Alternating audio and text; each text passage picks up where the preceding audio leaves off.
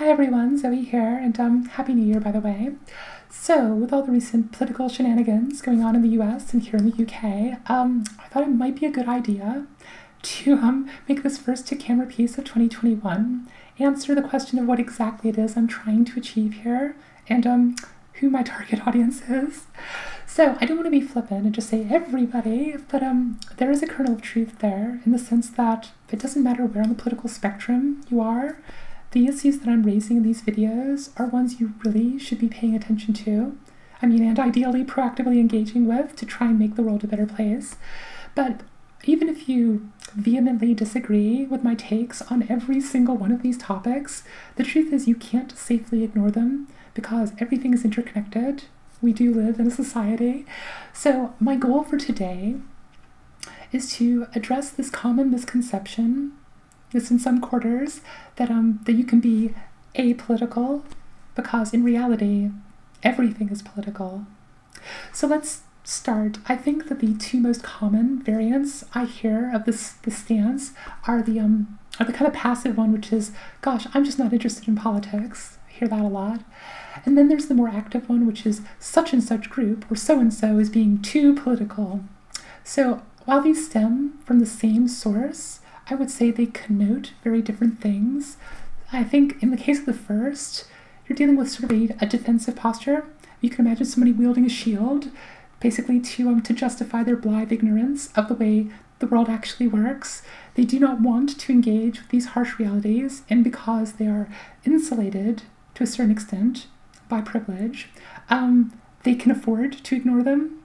So that is um, that's one side. Whereas I would say the second bit is more like to carry on with this metaphor would be the sword. So, or maybe some other blunt instrument by which you silence people who are saying things that you do not want to hear. Basically, information which again flags up the way the world actually functions and that it's really not good. Um, and because of your status or your circumstances or your lifestyle, you're in a position that feels stable and you do not want things that might unstable destabilize that. So you want to shut those people up. So um, let's look at both of these in turn, and hopefully this will be a short video, but I just want to establish like this is the subtext that underlies every one of my videos is this need to examine things a bit further and do a little introspection and challenge our assumptions about the way things actually work because certainly the stuff we were taught at school and the stuff that the media teaches us and the stuff we were taught at work is not true for the most part. It's there to keep us passive and keep us happy with the status quo when we could have a much, much better world. So let's look at the first of those two variants uh, to start with. So, whenever you hear somebody say, um, I'm just not interested in politics, um, or politics is boring, or I can't wrap my head around it, blah, blah, blah, any of these variants, what they are telegraphing to you is immense sense of personal privilege. And I know, I know, anytime you, you mention the word privilege, people get their backs up. Um, funnily enough, the people who respond most defensively and most angrily and most vehemently to the, um, the suggestion that there might be unearned privileges in existence tend to be the ones who've amassed the most of them. So yeah, funny. It's like um, it's like asking a fish, what's water? Um, obviously, if you benefit from a specific privilege, then it feels normal to you, so you do not perceive it as a privilege. It just seems to you like that's the way life works. But to people who do not benefit from that same privilege, people in marginalized groups, they are going to be experiencing abuse and discrimination and additional hurdles placed in their way, which you do not experience. You'll experience different ones, but you won't have to experience those because you're privileged. And so when you hear these reports of people telling you about these difficulties, you're more likely to discount and devalue those reports because you yourself have not experienced the things that you're hearing about. It's like, well, surely that can't be right. Um, surely these are exaggerations. Surely, if they just tried a bit harder, they would succeed. So, this is unfortunately the way a lot of people's minds work is privilege is invisible to the person enjoying it. But anyway, um, I could do a whole other video about dismantling privilege, and I probably will. But let's focus for today um, on a narrower definition. And I think the definition I would like to go with here is if you are in a position where you can just blithely ignore the current political strata and like pretend that you're disinterested in politics and it's boring and it doesn't affect you, then what you are actually saying is that you have the luxury of ignoring who's in power, what laws are being passed, because you know that the status quo, that is the way things are currently going, is catering to people like you. That basically you will not be materially affected one way or the other by the change in the political climate. And that is why you can actually say that you are apolitical. But in fact, you're not apolitical because the people who are impacted materially, and by materially I mean things like they might lose their home, they might be thrown out on the street, they might lose their job, um, they might be thrown in jail, um, they might have their very existence criminalized. These are material changes to the status of billions of people that hang in the balance because of governments and their legislation. So most people on this planet do not have the luxury to be apolitical. So if you hear somebody saying that they are um, not interested in politics, what it means is that they have this privilege, we've established that, and furthermore, they're not using that privilege to advocate on behalf of people who are marginalized. They're not using that privilege to try and be uh, in solidarity with like people in worse circumstances than them. They're definitely not trying to dismantle that privilege. They like it. They like the fact that they benefit from the status quo and that they're not bothered by the fact that the only reason the status quo exists to benefit them in the way it currently does is through the exploitation of billions of other people. So, um, what I'm trying to establish here is that pretending that you are apolitical is not morally neutral. It's actually bad. I mean, there's no way for you to be ethical and apolitical at the same time because they're orthogonal to one another.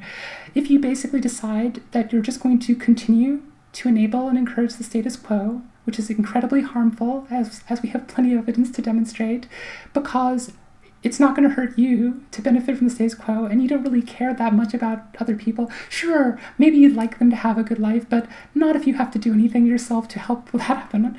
Um, then, yeah, you're not a good person and you should stop pretending to yourself that again that this is a morally neutral stance being apolitical it's a negative stance it's um it's a moral failure.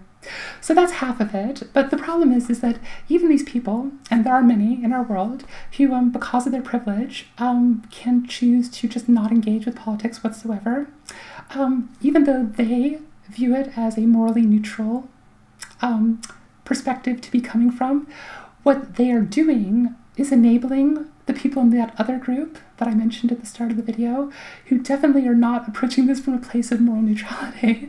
So, like the people who use phrases like, um, well, gosh, I don't have a problem with insert group here, but um, they're just too political, or um, why can't they be more quiet about it, or why do they have to shove it in my face?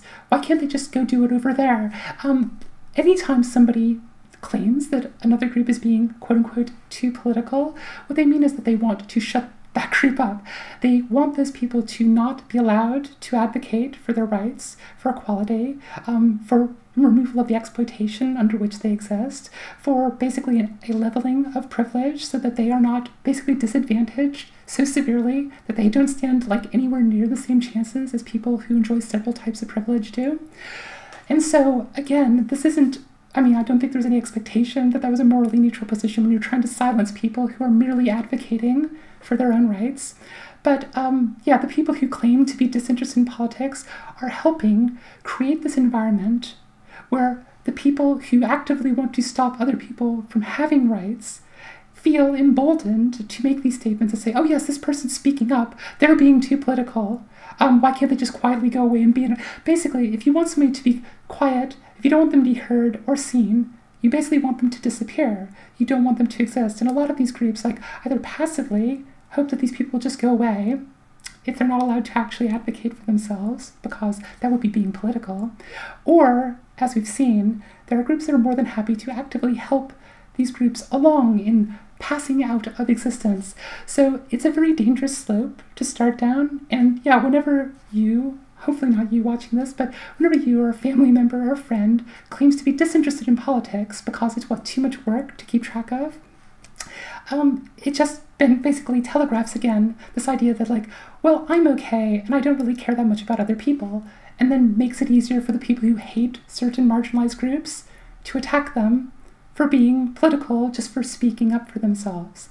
So I think that's probably enough for this video. I think that's the main point I wanted to cover, is that there is no such thing uh, as being apolitical in reality everything we do, every way we live our life is political because anything we do affects other people's lives. And if you living this sort of lifestyle means another person cannot, and that is so true for anyone in the Western or the developed world, um, let's say the global north, um, then yeah, it's not a neutral position. It's not morally neutral to basically sit back and say, gosh, I just don't want to engage with this because it's a little inconvenient. Um, so, what I'm asking you to do as you watch my videos going forward is to realize that I'm coming from a place where I've had to do this too.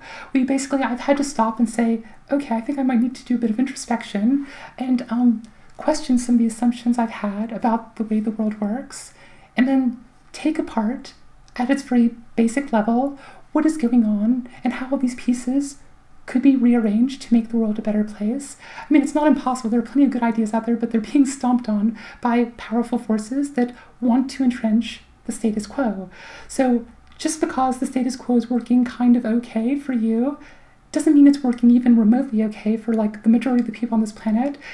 Just please bestir yourself to like do a bit of research, take a bit of action, maybe inconvenience yourself just a little to help all these other people. Because let's face it um, there's no not going to be any future for human civilization beyond a century or two out if we carry on down this current path. We are on a basically a death cult spiral to non-existence if we don't snap out of this. And it's going to require like all of us spending a lot of time questioning our beliefs and then reconstructing them. Right. I think that's all for today I will hope to see you soon. I'm hoping to do a video a week, ideally. We'll see. But um, as usual, please, if you liked or didn't like this video, upvote, downvote. Please subscribe if you want to hear more of this sort of thing. And also, um, if you can, uh, I do have a Patreon and other things, which um, you can use to support the channel. I always do appreciate it. But for now, I will sign off and um, keeping fingers crossed that we can make good things happen in 2021 that we were unable to do in 2020. Take care.